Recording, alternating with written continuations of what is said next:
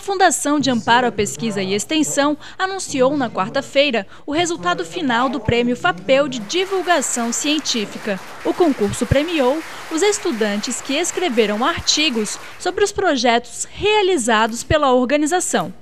Eu acho que a FAPEL precisa divulgar os trabalhos que ela realiza em contrato com a universidade, tornar isso público para a sociedade, tornar isso público para os estudantes, os professores, os pesquisadores. Existe uma necessidade hoje de tentarmos o esforço de fazer com que esses assuntos científicos saiam em linguagem adequada para que a população possa entender.